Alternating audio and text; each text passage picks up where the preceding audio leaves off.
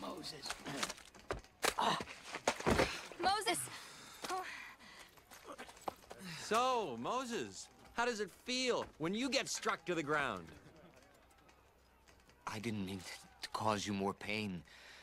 I'm just trying to do as God told me. God? When did God start caring about any of us? In fact, Moses, when did you start caring about slaves? Was it when you found out that you were one of us? Don't listen to him. No, he's, he's right. I did not see because I did not wish to see. Or you didn't see because you didn't wish to see? Ah! Well, that makes everything fine then, doesn't it? Aaron, you shame yourself. Miriam.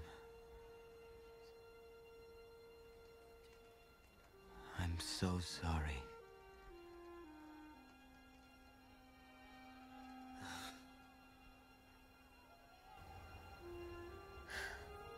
Moses, hear what I say.